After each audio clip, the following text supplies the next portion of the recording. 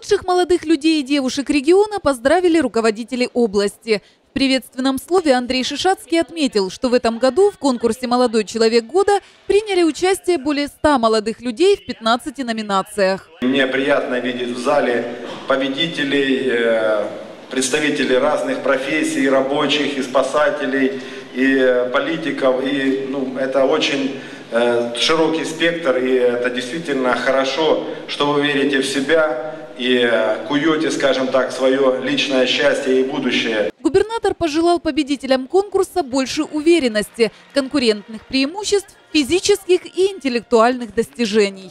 Я вам вообще желаю больше уверенности, даже больше скажу, самоуверенности. Э, когда надо исходить из того, я смогу и будет результат.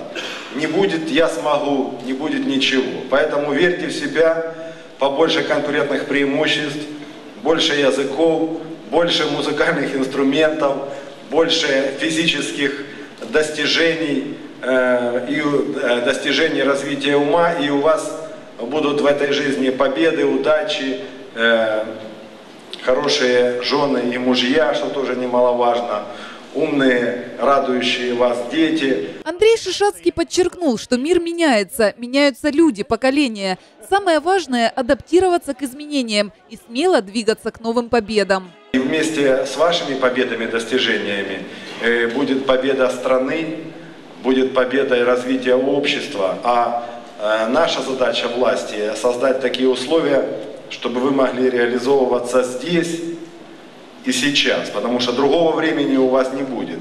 А вот место, к сожалению, может быть другое, поэтому я вас пожелал бы реализовать, найти здесь реализацию в нашей стране, в нашей области, и чтобы наша Донецкая область гордилась. Также с приветственным словом к победителям конкурса обратилась Тамара Лук'янчук.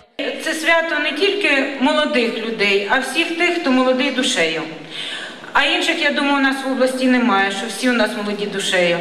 Чверть населення планети це молоді люди. І так як співалося в гімні, який ми сьогодні чули, гімн молоді, це справді сила, сила країни, сила Донеччини.